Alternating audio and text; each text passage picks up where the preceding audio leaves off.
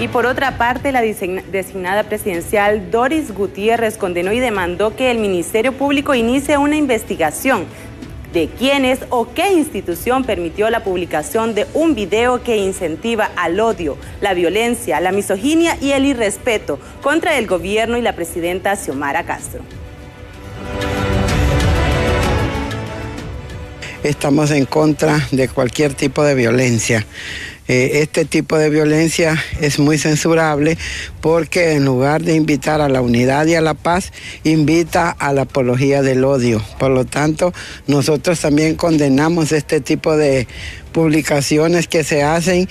no sabemos de dónde vienen, suponemos que pueden venir de algún sector de la oposición que tiene el gobierno de la presidenta Castro, pero queremos decirles que esta es la peor manera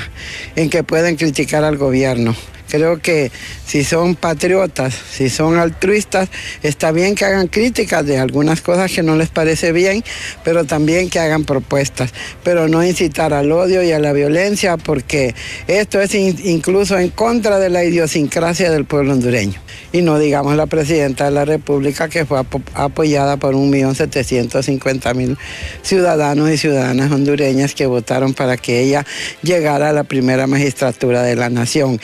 Es un, alto, es un acto de esta persona misógeno